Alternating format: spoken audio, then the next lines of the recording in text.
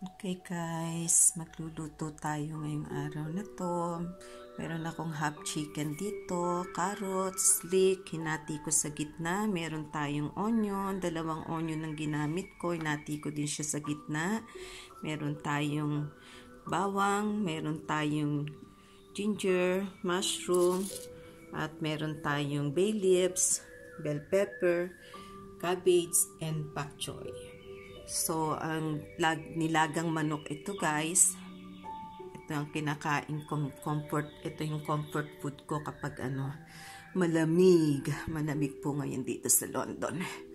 So, ayan tayo guys.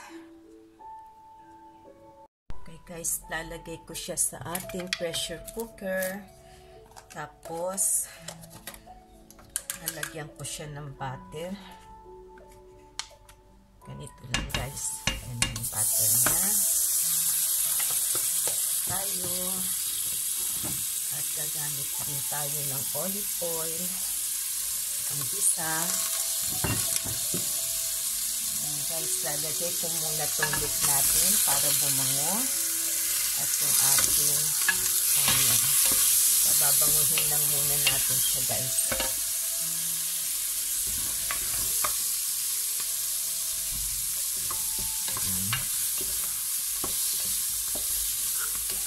Ako masarap to guys.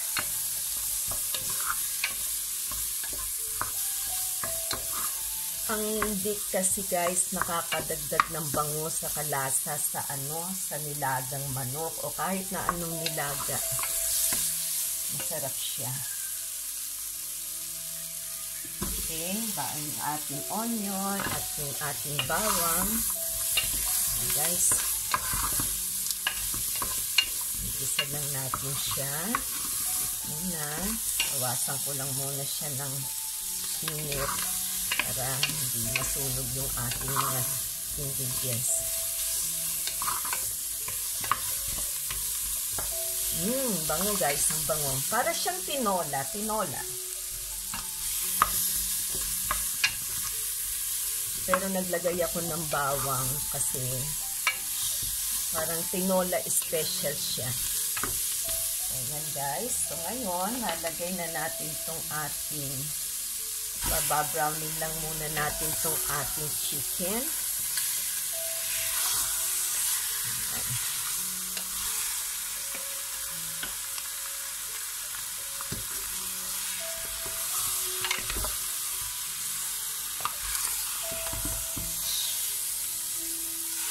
Aanin lang natin yung chicken natin.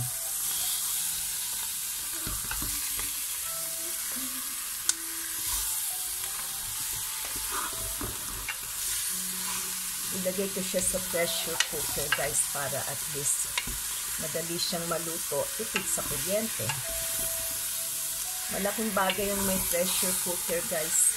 Lalo na kapag matitigas yung mga niluluto natin. Hmm, bango na yan. Ayan. Uy.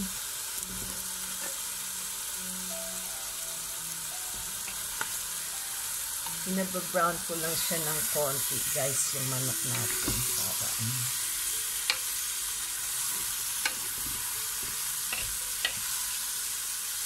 Ayan. Mm, bango.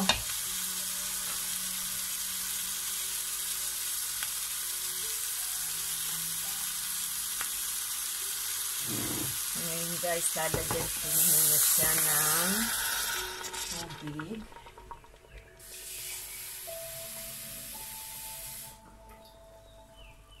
Lagyan na natin siya ng maraming tubig. Gagamit ako. Gagamit tayo guys ng marami.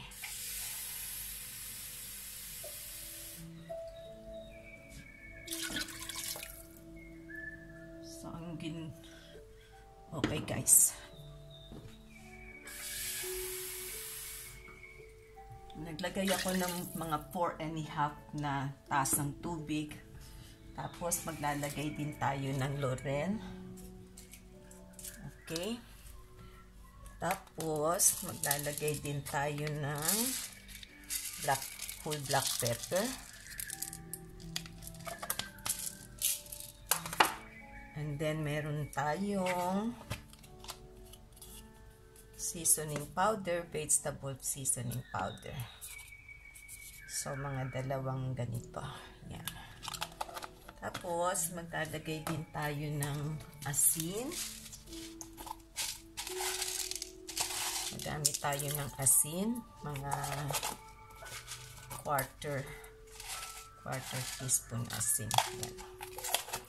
Tapos mamaya mag, uh, uh, magdadagdag tayo ng patis. So ngayon guys, tatakpan na natin siya.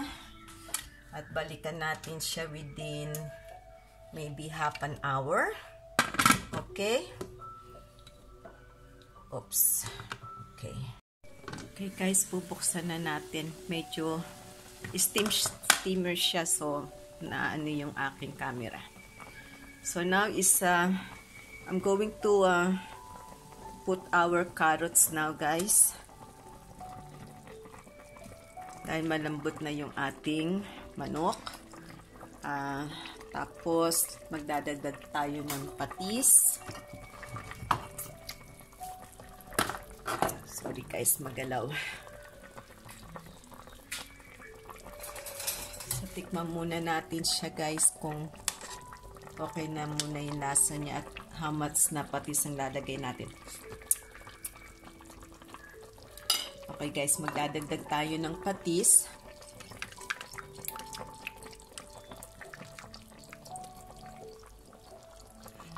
Okay.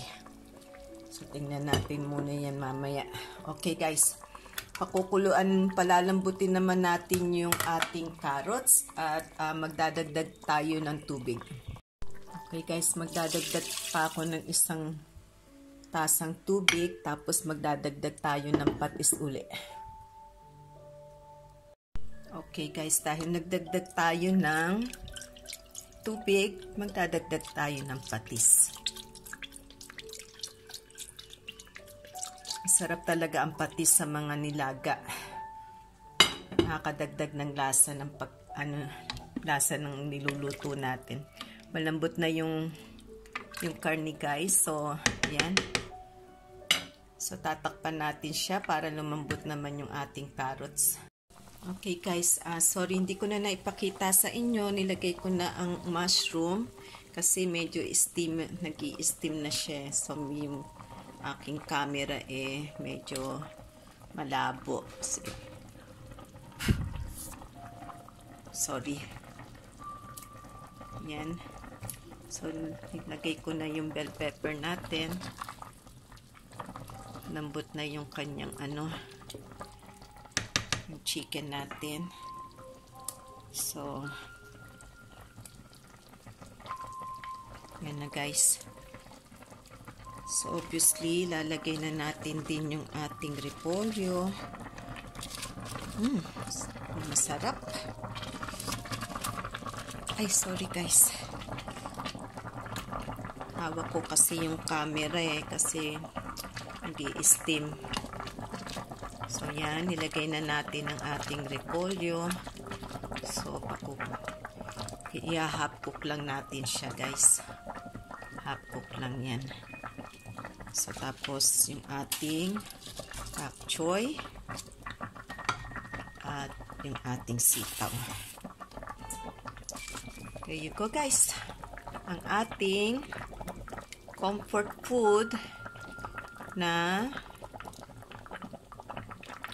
tinolang manok. Okay, ngayon tatakpan na muna natin siya. Babalikan natin siya maya-maya. Yan na guys. Mainit-init pa. Yan. Ang ating tinolang special na tinola. Comfort food. Sarap niyan.